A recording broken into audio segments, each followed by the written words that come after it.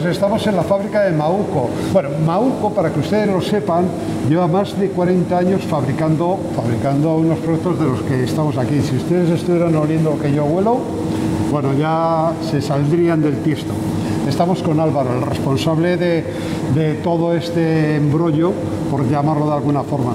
Y estamos en una zona de maduración del producto intermedia, no es ni la recién hecho ni lo de a punto de salir a la calle, sino aquí es intermedio. En intermedio, aquí estaríamos pues en este proceso donde el producto se asienta. Una vez que ya sale del secadero, Sí.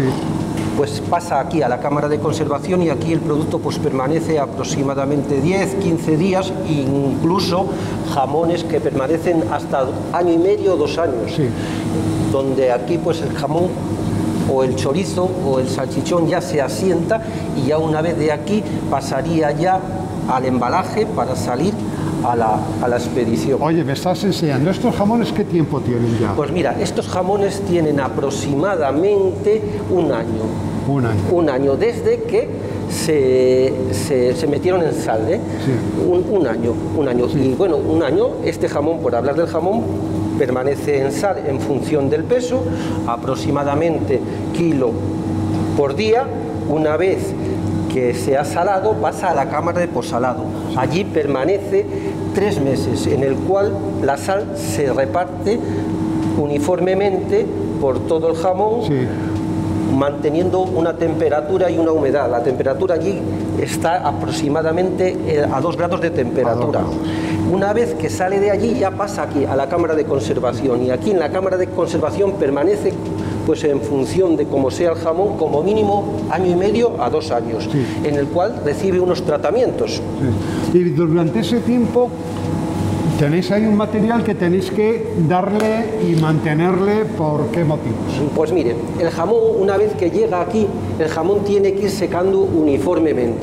Sí. ¿Mm? Para que el jamón seque uniformemente hay que hidratarlo por la parte que no lleva el cuero, ya que por el cuero el Sí. jamón está protegido. Ajá. Entonces, por esta zona, por esta zona que es la parte que no lleva el cuero, hay que hidratarlo a través de una aleación de manteca Y aceite. y aceite. Aceite virgen extra. Aceite virgen extra, Ajá. un producto de calidad para que el producto final sea también de calidad. Y eso se está dando de vez en cuando. cada dos, tres meses hay que hidratar el, el jamón por esta parte. Es decir, que una vez que llegan aquí los jamones, no es que aquí se dejen los jamones y pasen aquí año y medio, sino que cada tres, cuatro meses, en función de cómo vaya secando el jamón, el maestro jamonero les va poniendo aquí en esta, en es- en esta mesa Sí. fabricada y se le va dando Sí. Manteca y aceite. Vemos que estos han sido hidratados, este por ejemplo ha sido hidratado esta semana Sí. Que se le ve con una textura claro, diferente. y, a- y esos pues les tocará hidratarlos pues esta semana siguiente. Con eso conseguimos que se mantenga siempre, que no se cuartee, que no se desestabilice, por llamarlo de alguna forma. ¿no? Conseguimos que el secado sea uniforme. Ajá. Es lo que se pretende, que el secado sea uniforme y que por la parte esta no se coartee, como dice, no se reseque mucho, no cree corteza y vaya saliendo la humedad de dentro hacia afuera. El salchichón y el chorizo no tienen nada más que estar ahí y controlarles que estén en su punto. El salchichón y el chorizo, una vez que sale del secadero, pues baja aquí a la cámara de conservación y aquí pues va permaneciendo ya a una temperatura y una humedad estable, buscando ese asentamiento final para ya mm, esperando a la venta. Y luego los lomos y todo eso Tenemos exactamente igual. Los ¿no? lomos exactamente igual. Sí. El lomo permanece en el secadero aproximadamente pues 20 días y luego baja aquí a la cámara de conservación donde ya uniformemente también va secando, va asentando hasta que Eso coge ya está, está cogiendo un, un formato espectacular. Como vemos, el lomo es una de las cosas que, claro, eh, hay que mimar mucho, porque nosotros el lomo lo hacemos pues como lo hacía la abuela en casa. es Sí. decir, aquí no se usan máquinas de salado, no se usan máquinas de adobado, se hace todo manualmente. Ajá. Incluso se embucha en tripa natural. En tripa natural, Ciego de de- buey, ciego sí, de sí. buey, ciego de buey. ¿eh? Y el adobo, pues como el chorizo, ajo, pimentón, orégano y sal. Son lomos donde no lleva si vemos la etiqueta, vemos la trazabilidad, no lleva ningún tipo de conservante. Es muy difícil encontrar hoy lomos que no lleven conservantes, que no lleven azúcares, que no lleven aditivos. Vamos a resumir un poquito para que el espectador sepa qué productos puede comprar el Mauco. Chorizo, salchichón, lomo que hemos visto y jamón. ¿Y qué más cosas tenemos? Luego tenemos los botillos, tenemos la panceta, que la tenemos adobada y sin adobar. Ajá. Salada solamente. Salada solamente. Tenemos la papada, muy Ah, rica para, bueno. hacer, para hacer el cocido. Tenemos el acón, que no puede faltar en un buen cocido o en una buena alubia. Sí. Tenemos la oreja tenemos costilla también. Tenemos la oreja, tenemos la costilla, tenemos la lengua y tenemos el, El espinazo. el espinazo. Bueno, pues esto es un pequeño resumen de lo que es Mauco. Mauco que lo tenemos en, en La Bañeza, tenemos aquí la fábrica donde se produce todo esto, pero todo de forma artesanal, como se hacía antiguamente. Aquí llegan los cerdos a la canal, como habréis visto Sí. en, en- en el vídeo. Una vez que llegan, se despiezan, se, des- mm, se- se separan todas las partes del cerdo, las partes que se elaboran pasan al obrador donde se elaboran y una vez allí a los secaderos y a las cámaras de conservación donde se van secando todo naturalmente. Bueno, pues este es el resumen de Mauco. Mauco, una fábrica artesanal y a disposición de todos. Seguimos en La Bañeza, en la calle Antonio Bordas, número 13. Estamos en peluquería y estética emocional. Y precisamente aquí tenemos a Dani. Dani, que te pillamos con las manos en la masa, no, en el pelo. Buenos Sí, días. Buenos días. Eh, ¿Estás haciendo un tratamiento en este momento? ¿Qué Sí. estás haciendo? Estamos haciendo un reconstructor que es el Integrity en este caso. Ajá. Tenemos más de 20 tratamientos diferentes para las necesidades y deseos de cada cabello. Sí. Y en este caso pues estamos haciendo un reconstructor para hidratar un poco este cabello. Sí. ¿Eso que es eh, cuando se hace un lavado, cuando se hace un teñido? cu- ¿Cuándo se utiliza ese tratamiento? Bueno, eh, dependiendo del tratamiento que hagamos, este por ejemplo lo utilizamos, eh, lo podemos utilizar tanto el día que lavamos el cabello como el día que hacemos un color. Es una manera de rehidratar el cabello, Ajá. ya que claro, eh, aunque utilizamos coloraciones orgánicas, siempre tienen algo de química que reseca un poco el cabello. Ujú. Bueno, estamos en una peluquería, como hemos dicho, peluquería estética y en este momento Dani eh, está haciendo pues, eh, el, el tratamiento, pero antes has hecho un- Una coloración. una sí. coloración. Coloración, tratamiento y después ya que vamos a secado hacemos- y peinado. Sí, hacemos secado y peinado, exactamente. Aquí tratamiento y atención a hombre, mujer, niños, todo tipo. Y una cosa súper importante que, que lo comentamos antes de empezar. Eh, yo tengo una celebración, una boda, por ejemplo, y decimos, oye, nos juntamos varios hombres, mujeres, y decimos, Dani, tenemos ahí eh, una celebración donde vamos a ser dos hombres, tres mujeres, te programas y nos lo haces todo en casa, todo el mismo día de la boda, se- esto Sí. sería, sería un lujo, ¿no? Sí, pero tenemos también servicio con desplazamiento, exactamente. Acordamos con las personas, las personas que van a ser, fechas, etcétera, y nos desplazamos tanto Yoli como yo y, y otra chica que está trabajando con nosotros, claro. Estupendo. Bueno, aquí tenemos eh, lo que es eh, lógicamente el servicio de peluquería, peluquería de caballero señora, eh, también teñidos y qué más eh, actividades hacemos aquí. Todo tipo de mechas. eh, lógicamente estamos a la vanguardia, estamos constantemente en completa renovación con los cursos. eh, Sí. Una vez al año solemos ir a Italia, quitando estos dos últimos años por tema de- del coronavirus, pero bueno, ahora ya estamos retomando. En junio tenemos una formación en, en Mallorca, estamos cada poco en formación. Y luego eh, habías comentado algo del botos, el botos del cabello. ¿Qué es eso del botos del Botox del cabello? cabello es un relleno capilar, es para los cabellos que son muy finitos, para darles un Ah, poco para de darle un grosor. poco de energía y fuerza. Para darles energía, fuerza y grosor al cabello. sí. Sí, sí, sí. Veo que tienes un montón de productos, que no solamente es exposición, es decir, que también se vende producto, todo lo que hay aquí, Sí. todos los tratamientos, todos los eh, champús y demás. Me estás hablando de que esto es la parte de caballero, esto es la parte de señora, Sí. y luego hay un apartado específico dedicado al mundo de, de- ya del interior, por llamarlo así, es decir, un poquito del cuerpo, ¿no? El tratamiento corporal, el tratamiento de, de- facial. facial y demás, que esto lo, lo lleva Yoli. Sí, eso todo lo, lo lleva Yoli, que es la que os puede ayudar. Pues ya estamos donde tu territorio, ¿no? Sí. Anjoli es la que se encarga de todo el tema de estética. De estética, sí. Aquí tenemos un poco desplegado cosas que se hacen aquí. Claro. Explícanos un poquito cuál es tu actividad. Pues aquí. mira, esta cabina está más destinada para tratamientos corporales, faciales y masajes. ¿Vale? Entonces, pues mira, tengo un poco aquí para que veáis que doy masajes con pindas. Son unos saquitos que están rellenos de semillas Ah, y esto va calentito, Qué ¿vale? bien, va calentito, entonces súper agradable y es un masaje muy relajante, ¿vale?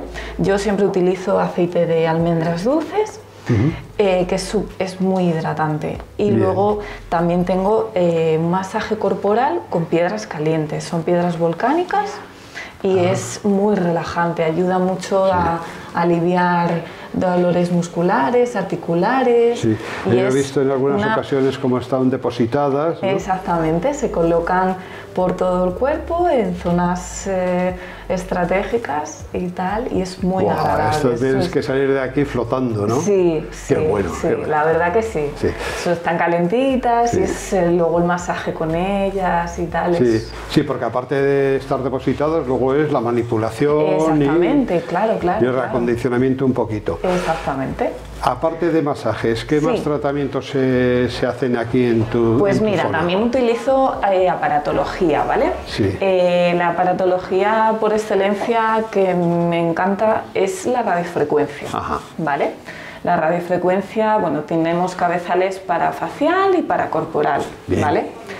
Eh, la radiofrecuencia lo que, lo que hace es, es una corriente que es- hace, eh, em, ayuda a la producción de colágeno y elastina de nuestra piel, ¿vale? Entonces conseguimos una piel mucho más firme, mucho más suave, aporta mucha hidratación, ¿vale? Entonces, y mucha reafirmación, es un efecto lifting, ¿vale? Eso a nivel facial. A nivel corporal, pues nos ayuda a- con la celulitis, nos ayuda a reafirmar todo el tejido que queda pues flacidez y demás y nos ayuda a reducir volumen, ¿vale? Eh, entonces es, un- es, un- es una aparatología, es un- son tratamientos súper completos. Luego ¿vale? tenemos también todo lo que es tratamiento de, de manos, de Sí, claro. estética Sí. en general, Sí. eh, manicura, pedicura, Exactamente, claro que sí. tema de, de depilación, Sí. tema de cejas, tema de todo, todos Todo esos eso. tratamientos también lo hacéis aquí. Exactamente. Y también os quería hablar de la presoterapia ocular. Ah, Estas bueno, gafas, sí. eh, pues bueno, pues es, eh, dan un masaje, ¿vale? Y sobre todo ayuda a drenar la zona de la ojera. Aquí estamos en Antonio Bordas, en Peluquería Estética Emocional. Estamos con Dani, estamos con Yoli y aquí haciéndonos nuestros tratamientos especiales.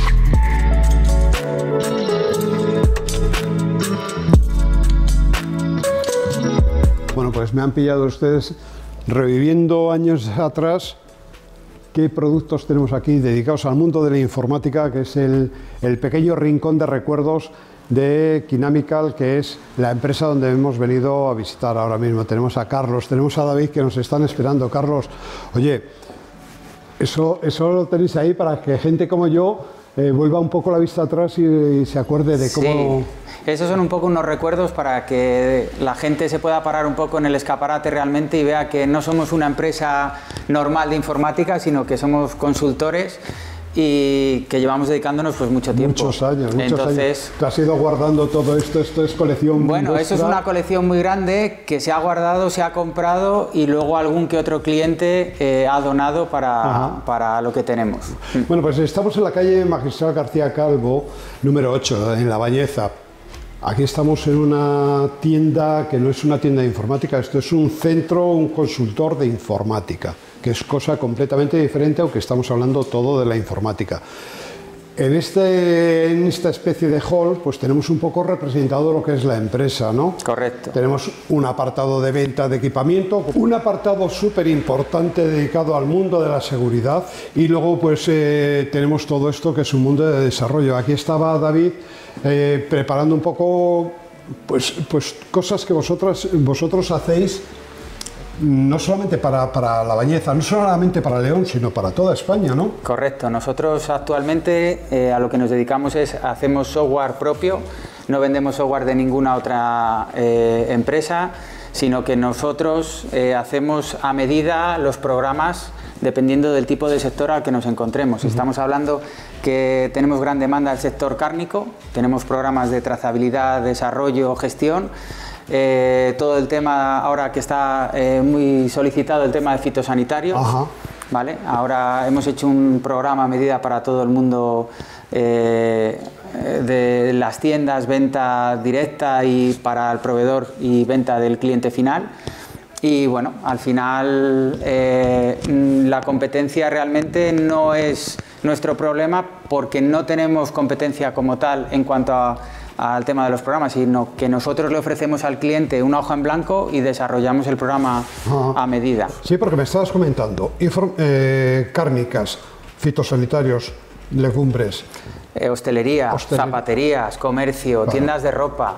O sea, al final eh, conocemos más el negocio que mucha gente que abre. es decir, ahora mismo la demanda que hay de puestos de trabajo que la gente pues la despiden con 50 años y va a abrir un negocio nuevo.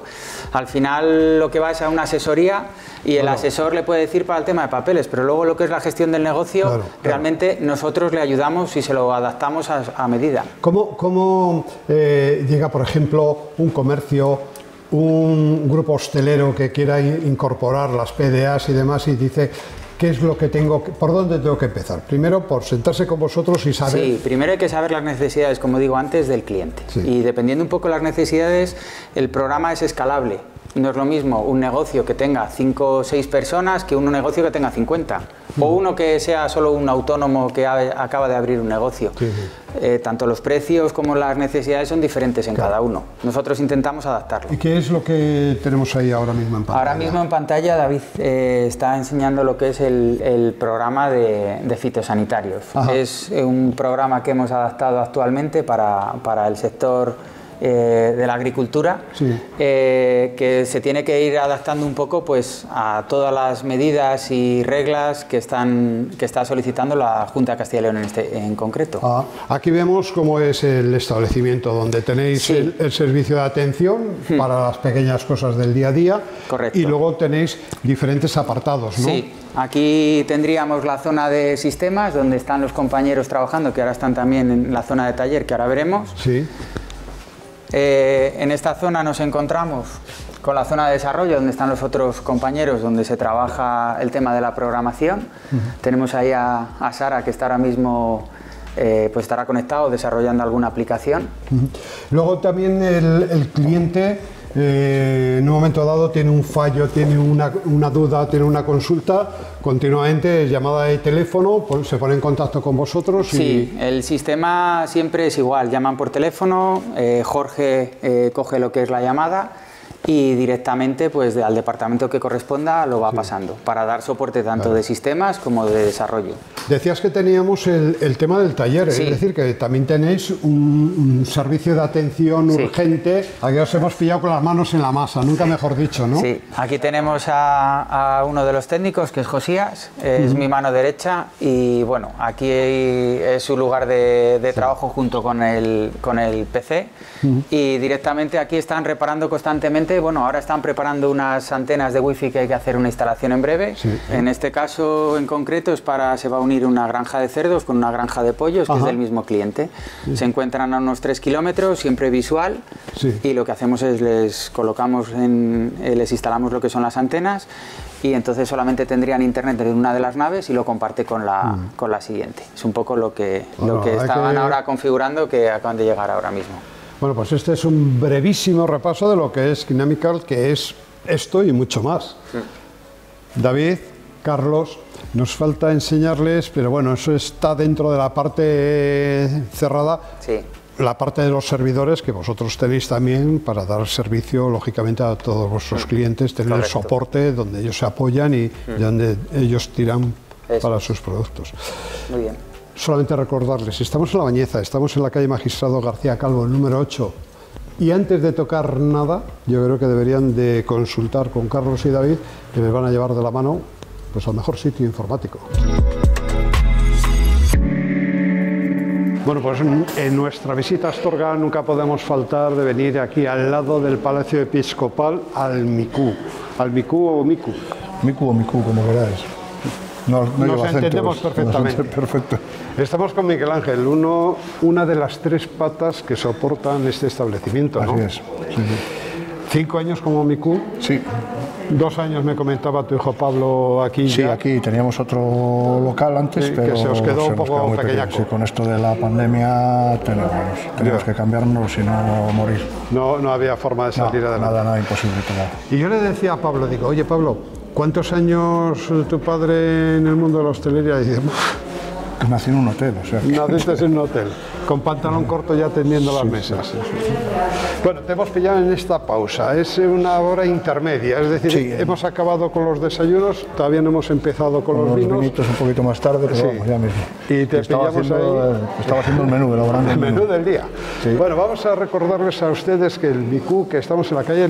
Calle Los Sitios, calle Los, sitios, 14. Que es justo a continuación ya está el justo Palacio al lado del Palacio, sí, sí. Con lo cual no tiene ninguna pérdida.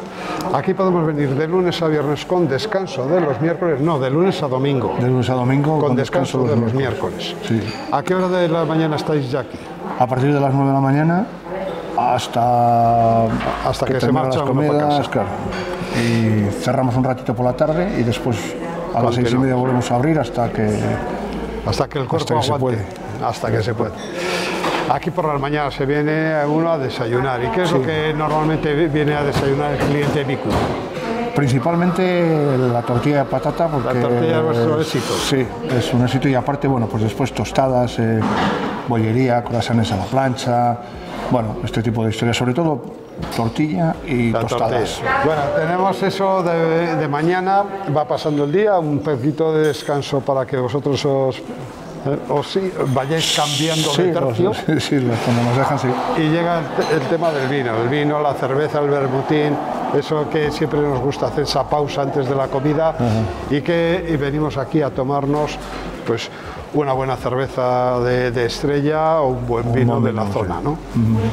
¿Qué tenemos de tapa hoy con, con el pues, vino? Eh, en este momento casi no lo sé, pero bueno, siempre tenemos eh, tortilla, eh, y después un par de, de, cazuelitas de, cuchara, pues bien unas patatas con bacalao y arroz o unas lentejas o unos garbanzos con... Sí. depende un poco pues lo que Tere tenga en ese momento y va haciendo y va sacando. Y me comentaba, me comentaba Pablo que lo que también viene mucha gente es a las famosas sopas de ajo, las sopas de trucho. Eso es algo ya, ¡boom! además lo tenemos eh, estipulado. Los sábados mm, por la mañana y por la tarde ponemos sopas de trucha y el resto de la semana ponemos sopas, sopas normales principalmente por las noches. Bueno, pues eh, algo os representa el MICU, aparte de la cafetería, es el tema de la comida. Aquí hay un buen menú del día, un menú muy especial los fines de semana. Hoy, por ejemplo, ¿qué estabas preparando? Pues mira, tenemos unas judías verdes, un potaje de garbanzos, ensaladilla y espárragos de primeros, o sea, cuatro primeros y de segundo un bacalao en salsa verde, carrillera de ternera estofada, pimientos rellenos de marisco y solomillo de cerdo Tenemos un menú y otros cuatro segundos con el postre, el pan y la bebida. Y bueno, bien. Está bien. Y yo, por ejemplo, si viniera este fin de semana, ¿qué idea tenéis de preparar para el fin de semana? Pues seguramente hacemos un plato que tenemos que es un poco el plato estrella, que son unas patatas eh, a la importancia con langostinos. Qué bueno, qué bueno. Que es, algo que, sí, que ¿eh? gusta muchísimo a la gente y después pues alubias con almejas y, después un par de platos fríos, pues una ensalada de tomate con burrata o ensaladilla. Y después de segundo, pues lo, típico, eh, la carrillera, el rabo de ternera, el pescado que haya en el día, ahora en estos momentos poco, porque no hay, pero bueno y siempre pues un entrecoto, solomillo, cosas de estas. Qué bueno. Oye, el, tema de, siempre me gusta preguntar qué es lo que no me puedo perder de probar aquí en Miku. Cuando yo vengo, pues me parece muy bien lo que tú tienes, pero yo quiero venir a probar qué por cosas. por encargo las ancas. Las ancas, de, rana. que eso es algo especial, ¿no? Sí, no, no es porque Tere sea mi esposa, sino porque tiene unas manos de ángel. Pasamos de las ancas de rana, ya las hemos comido. ¿Qué otras cosas podemos encargar aquí? Pues lo que hablábamos antes, las patatas a la importancia con langostinos, que es un manjar. Y después, pues bueno, eh, arroces, sobre todo arroz con bogavante o arroz con langosta, que también tiene muy buena mano para eso. Y después, pues los platos típicos de, la zona, pues eso, que hablábamos antes, unas alubias con almejas o unos garbanzos con, con pulpo. O bueno, después el, pulpo, que es también el pulpo... Es algo especial. lo que Aparte que es algo que se usa mucho aquí, el pulpo y el bacalao. Mira, me olvidaba yo del bacalao el bacalao de salado, que es algo que es también, pues, sabes que aquí en la zona somos muy de, arriero, muy ahora claro, eh, cosas súper interesantes también para picar. Esas mollejas y esos callos. ¿eh? Mollejas, los callos. Que, a todos nos gusta. sí, las mollejas, los callos, los calamares en tinta, calamar en tinta, eh, gambas al ajillo, estas cosas que, eh, en vez de sentarnos de mesa y mantel. Además, nosotros lo hacemos, aparte de lo típico de la gallega, lo hacemos, mi mujer lo hace mucho al ajillo. Al ajillo. Que es algo que, aquí se llevó antes mucho y ahora lo ha dejado todo el mundo de hacer y nosotros seguimos haciendo ah, pues y es verdad que está muy rico. Sí, sí, pues hay que probarlo. Ese pulpo al ajillo yo no me lo puedo perder y ustedes tampoco. Estamos en calle Los Sitios. Calle Los Sitios, 14. Número 14, al lado justo, es decir, según salgo aquí a la derecha ya tengo el palacio sí, episcopal. Estamos...